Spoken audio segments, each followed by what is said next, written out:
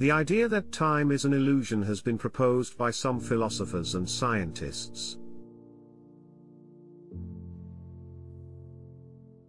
The argument is that the concept of time is a human construct used to describe and organize our experiences and observations, but it may not be a fundamental and objective feature of reality.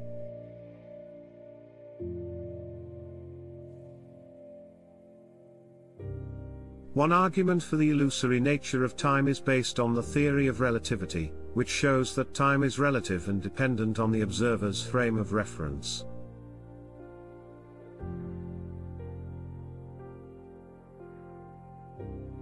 This means that time can appear to pass differently for different observers, depending on their relative motion and the strength of gravitational fields.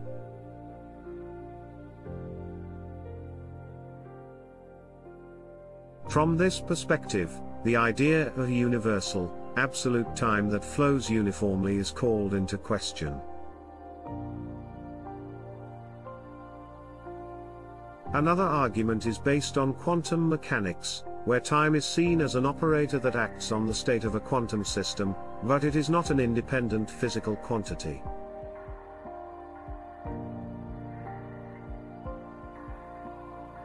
In this view, the concept of time is closely tied to the principles of uncertainty and complementarity, and its behavior is determined by the interactions between physical systems and the observer's measurements.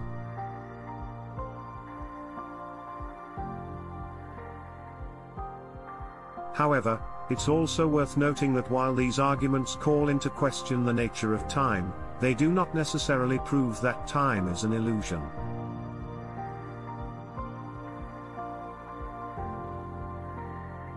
Some scientists argue that the theory of relativity and quantum mechanics merely reveal a more complex and nuanced understanding of time, rather than proving it to be an illusion.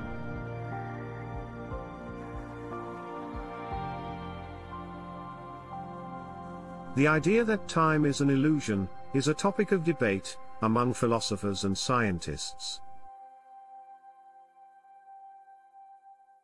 With some arguing that, it is a human construct and not a fundamental and objective feature of reality, while others argue that it is a more complex concept than previously thought.